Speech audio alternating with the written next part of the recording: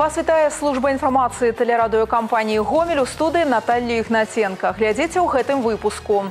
Новыя магчымасці беларуснафта плануе сёлета павялічыць здабычу нафты. Навядзенне парадку на зямлі аб выніках мінулага года і сёлетніх планах ішла размова на відэаселектарнай нарадзе ў гомельскім аблвыканкаме.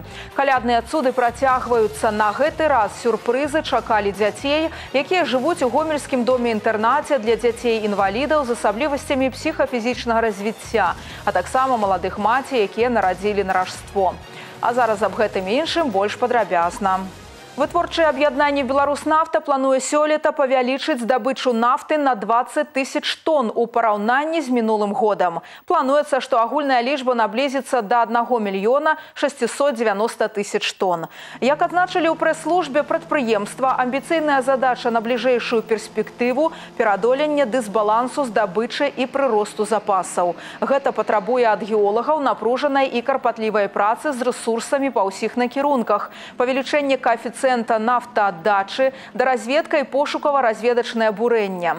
Акрамя гэтага адзначана, што дзякуючы комплекснаму падыходу у асваенні дзеючых радовішчаў і новых плошчаў, укараненню сучасных тэхналогій вырасла доля прамысловых запасаў вуглевадародаў у агульнай структуры, а таксама колькасць прадуктыўных свідравін. Работа по навядзенні парадку на зямлі працягваецца. Так летась розныя работы праводзіліся прыкладна на 10 тысячах гектараў зямлі. Гэта тэрыторыі, якія раней не выкарыстоўваліся ўвогуле альбо выкарыстоўваліся неэфектыўна. Аб выніках мінулага года і планах на 2019 ішла размова на відэаселектарнай нарадзе ў гомельскім аблвыканкаме. Так больш за ўсё земляў, якія прыводзілі ў парадак, належаць сельгасарганізацыям вобласці. Гэта амаль 8 з паловай тысяч гектараў. На другім месцы тэрыторый населеных пунктаў далей ідуць землі фермерскіх гаспадарак і іншых суб'ектаў. Дарэчы, летась атрымалася ўцягнуць у сельскагаспадарчы абарот больш як 200 гектараў земляў, якія знаходзяцца побач сельскагаспадарчымі аб'ектамі. Галоўная задача, каб у канчатковым выніку земля прыносіла карысць. Проделана серьезная работа по передаче земельных участков по согласованию их передачи лесохозяйственным предприятиям ту землю, которую можно вовлечь в сельскохозяйственный оборот, она, конечно, попадает только сельскохозяйственным предприятиям. Земли же в области, которые низкобальные, песчаники, а, уже по тем или иным причинам заболоченные, передаются лесохозяйственным предприятиям. В любом случае наша задача и наша цель – это конечный результат, чтобы земельные участки приносили какую-то пользу. Чацвёра вадзіцеляў адкрытага акцыянернага таварыства гомель абл аўтатранс узнагароджаны ганаровымі граматамі савета міністраў Рэспублікі Беларусь за плённую працу, высокі прафесіяналізм і значны ўклад у паспяховае выкананне работ па рэканструкцыі аўтамабільнага моста праз раку прыпяць у жыткавіцкім раёне. Азначаны Александр Дурнеў, Мікалай Зіноўяў, Сергей Папруга і Іван Назаранка. Дарэчы, для работы на дадзеным аб'екце штодзённа было задзейнічана ад 20 до 40 адзінак грузавога рухомага составу гомелі абл Супрацоўнікі даі ў сувязі з пахаладаннем рэкамендуюць вадзіцелям правяраць тэхнічную спраўнасць аўто. Асабліва гэта тычыцца ўладальнікаў машын з дызельным рухавіком. Найбольш негатыўна нізкія тэмпературы ўплываюць на работу акумулятара. Яшчэ адна праблема, якая можа паўплываць на працаздольнасць аўтамабіля пры маразах замярзанне тэхнічных вадкасцяў. У дальнія паездкі даі рэкамендуе браць з сабой цёплае адзенне, зараджаны мабільны тэлефон, а таксама прадметы, якія дапамогуць у выпадку выпадках няспраўнасці аўтамабіля. Трос лапату і правады, але ж самым галоўным застаецца выкананне правілаў дарожнага руху, правільная ацэнка ўмоў надвор'я і дарожнага пакрыцця. Сёння ў злучэннях і воінскіх часцях унутраных войскаў міністэрства ўнутраных спраў Рэспублікі Беларусь пачаўся новы перыяд вучэбна-баявой падрыхтоўкі. Урачысты мітынг, прысвечаны гэтай падзеі, прайшоў і ў вайсковай часці 55-25. На ім з прывітальным словам выступіў першы намеснік камандуючага ўнутранымі войскамі краіны, начальнік штаба Ігар Бурмістраў. Ён падзякаваў вайскоўцам за службу ў мінулым годзе і пажадаў поспехаў у баявой падрыхтоўцы. Па завяршэнні правядзенні мітынгу ў часці разгарнулі навучальныя месцы для азнаямлення асабістага саставу з мерамі бяспекі, якія павінны выконвацца ў паўсядзённай службова-баявой дзейнасці. Акрамя таго, прайшлі першыя заняткі па ідэалагічнай падрыхтоўцы па тэме «Нацыянальная бяспека Рэспублікі Беларусь. Задачы ўнутраных войскаў у 2019 годзе». По окончанию полугодичного обучения проводятся проверки, уже проводится боевое слаживание окончательно подразделений, и уже по факту смотрится, в какой степени мы э, подошли к обучению личного состава. И в конце года проводится уже итоговая проверка, и уже обобщаются все результаты за год и смотрится готовность всего соединения к выполнению задач по предназначению. На новы перыяд вучэбна-баявой падрыхтоўкі ў вайсковую час 55-25 прызвалі больш як 170 чалавек. На працягу наступных месяцаў з імі будуць праводзіцца планавыя паказальныя і практычныя заняткі па ўсіх прадметах навучання. Напрыканцы студзеня пачатку лютага ў беларусі чакаецца ўздым захворванняў на грып медыкі адзначаюць каб пазбегнуць зараджэння неабходна памятаць аб простых правілах гігіены не трэба перадаваць адзін аднаму мабільныя тэлефоны і ручкі не здымаць зубамі пальчаткі варта адмовіцца нават ад рукапаціскання неабходна больш бываць на свежым паветры верагоднасць распаўсюджвання грыпу альбо іншых вірусных інфекцый на вуліцы зводзіцца да нуля медыцынская маска пры гэтым не патрэбна. Яе неабходна насіць толькі ў выпадку, калі вы захварэлі, каб не стаць пагрозай для іншых. У памяшканнях важна, як мага часцей праводзіць вільготную уборку. Аптымальная тэмпература паветра ў пакоі 20 градусаў. Не пакінуць у цяжкай сітуацыі. У рэгіёне стартавала кампанія «Мароз». На перыяд нізкіх тэмператур гомельская абласная арганізацыя беларускага таварыства чырвонага крыжа адкрывае пункты абагрэву для людзей без пэўнага месца жыхарства і адзінока пражываючых. Яны размяшчаюцца на базе ўсіх раённых арганізацый таварыства.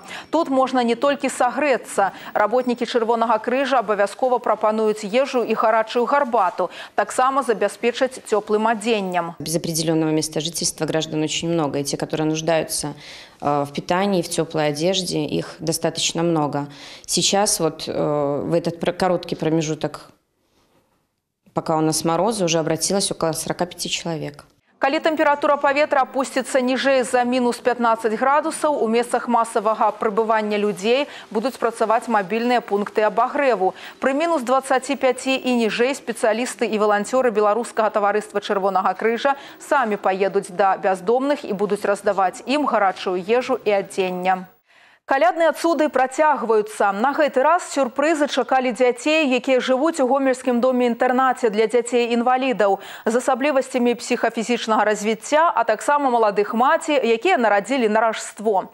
Да іх завітаў з віншаваннямі і падарункамі архіепіскап гомельскі і жлобінскі сцяфан. Марына Джалая з падрабязнасцямі. Юлія Федарович жыве ў дзіцячай вёсцы, так называюць інтэрнат 7 гадоў. Зараз ёй 35. Юлія адна самых дарослых жыхарак. Маладая жанчына, што рэдкасць для гэтай установы мае адукацыю. Яна два гады вучылася ў ліцэі і летась атрымала дыплом агародніка азеляніцеля. Зараз марыць аб апякунскай сям'і, працы і больш самастойным жыцці. Менавіта такое жаданне загадала Юлія на раство. Я загадала желание, чтобы у меня была семья, вот, опекунство, что что я хочу, вот кто-нибудь меня взял на пекунство. Я даже иконы молюсь, вот даже вчера молилась перед иконой, что чтобы мне Боженька, вот моя мечта сбылась, что меня взяли на пекунство. Для таких людзей увага бясцэнная. Яны шчыра радуюцца ўсім гасцям і дзякуюць за гэта цеплынёй сваіх сэрцаў і непасрэднасцю эмоцый. Адчая піце з уладыка, яго ветлівыя словы і падарункі вялікае шчасце для жыхароў дзіцячай вёскі. Дарэчы, зараз тут жывуць 64 чалавекі, 38 з іх непаўналетнія. Самаму маленькаму жыхару 4 гады. Жывуць тут групамі па 16 чалавек, а сама мадэль рэабілітацыі мае сацыяльную накіраванасць. Руси всегда говорят говорили, спешите делать добро. Мы не знаем, какова человеческая жизнь. Начало есть, а конца мы ее не знаем. Поэтому надо вложиться настолько, насколько можно творить добро ближнему. И вот в эти праздничные рождественские дни мы посещаем больницы, интернаты, такие вот дома для деток инвалидов, самих инвалидов на дому. Стараемся все обхватить настолько, насколько можно. Потому что и Христос и Евангелие говорил, вас узнают, что вы мои ученики, если будет между вами любовь. А в чем выражается любовь? Любовь выражается в том, чтобы мы постели больного, чтобы мы оказали какую-то помощь, чтобы мы посоучаствовали в его жизни.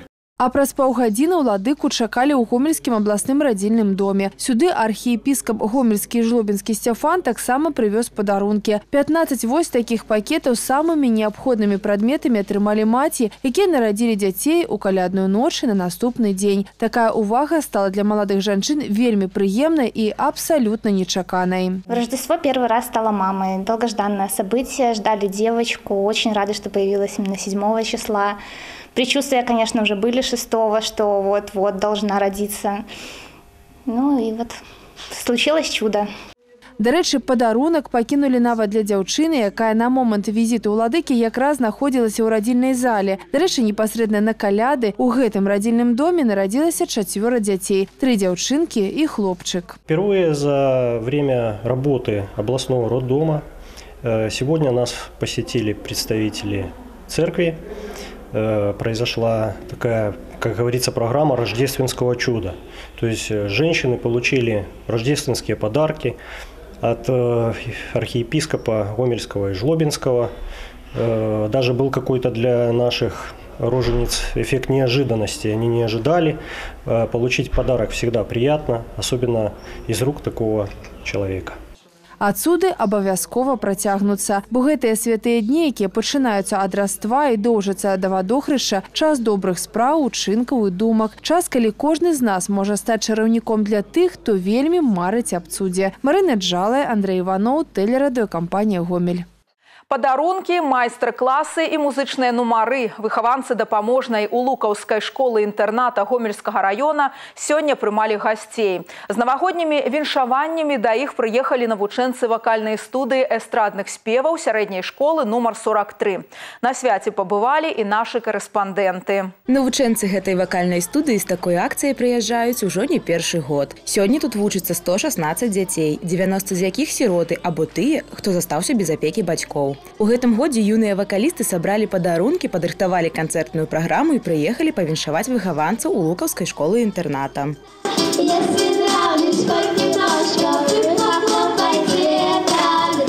С такой акцией, к которой мы приехали сегодня, мы уже ездим не первый год, так как детки однажды поехали подарить счастье, улыбки. А, в детский дом в Белице мы ездили на Кристалле, в школу-интернат 15. Нам понравилось, мы подарили один раз счастье, нам э, захотелось дарить каждый год вот такую акцию, как традицию мы решили продолжать каждый год. В этот раз мы приехали в Улуковский детский дом, э, потому что мы о нем только первый раз узнали.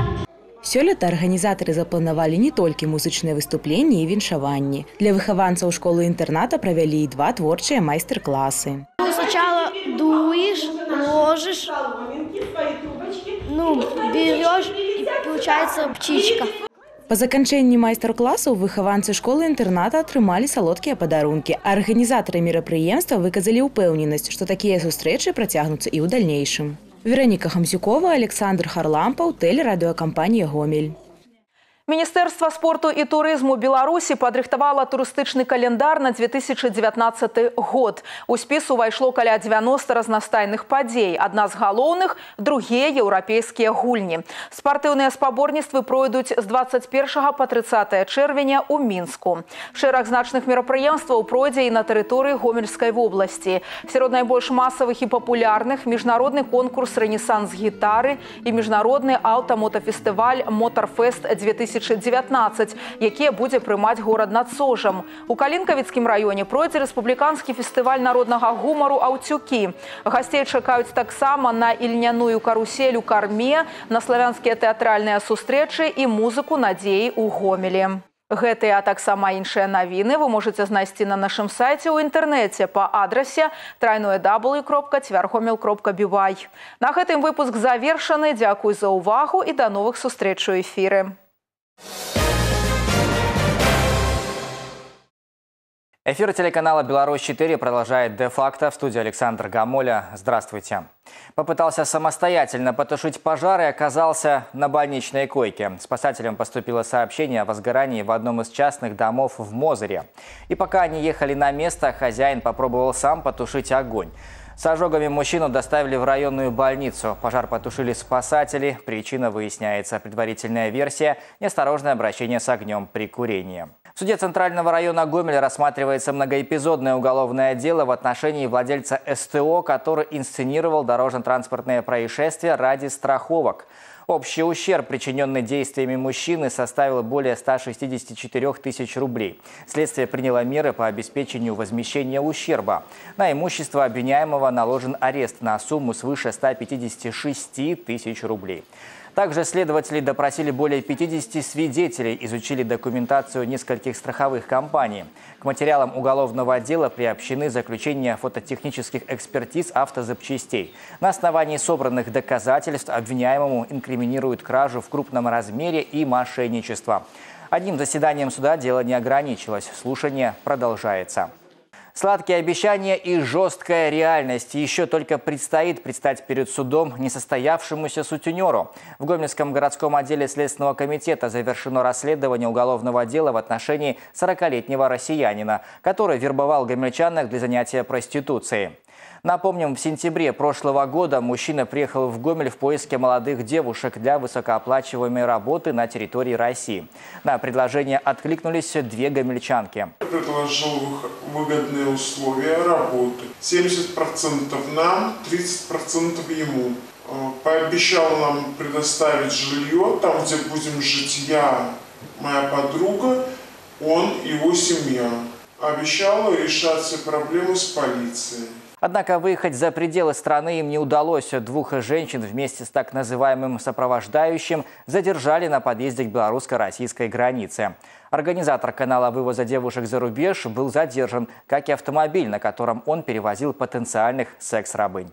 В настоящий момент уголовное дело в отношении гражданина Российской Федерации направлено прокурору города Гомеля для направления в суд – Санкции статьи предусматривают наказание в виде лишения свободы от 5 до 10 лет лишения свободы с конфискацией имущества или без таковой. Таков обзор происшествий к этому часу. Оставайтесь с нами и берегите себя. Я Александр Гамоля. Благодарю за внимание. До свидания. На телеканале «Беларусь-4» Гомель новости спорта. В студии Максим Савин. Здравствуйте. В экстралиге хоккейного чемпионата Беларуси позади очередной игровой вечер. Солигорский «Шахтер» нокаутировал молодежку Ю-20 со счетом 8-1. Столичная юность в серии булитов вырвала победу у «Динамо» из Молодечно. Представители нашего региона очками разжиться не смогли. Жлобинский «Металлург» гостил в Гродно у Немана. Прием с Толиваром оказали не самый радушный. В первом периоде хозяева забросили трижды, отличились братья Малявка и Левша.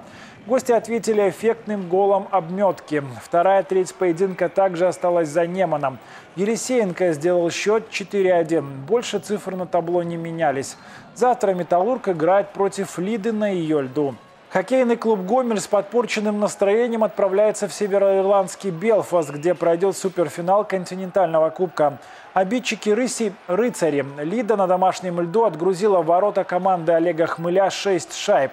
Гомельчане сподобились на один голевой бросок, отличился Перегуда. 11 января Гомель стартует в суперфинале континентального кубка. Первый соперник – хозяева команда «Белфаст Giants. Павел Кречин возглавил дубль футбольного клуба «Гомель». Два последних сезона, напомню, с резервистами клуба работал Виктор Барель. Павел Кречин выступал за «Гомель» в 2003 году и стал чемпионом страны в составе «Зелено-белых». С 2014 по 2018 год специалист работал главным тренером гомельского «Локомотива».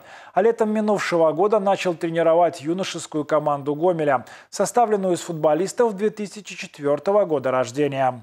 В Минске состоялось первенство Беларуси по бадминтону среди юношей и девушек. 90 спортсменов из всех регионов страны состязались в трех возрастных категориях. Сильнейших на протяжении трех дней выявляли в одиночном, парном разрядах и миксте. В мужских одиночных состязаниях среди спортсменов возрастом 14-15 лет финал получился гомельским. Глеб Швыдков обыграл Ивана Доценко. В парном разряде тандем Швыдков-Доценко поднялся на высшую ступень пьедестала почета.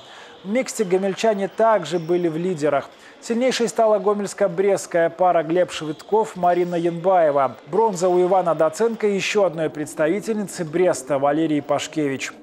На этом пока все. С новостями спорта вас знакомил Максим Савин. Оставайтесь на Беларусь 4.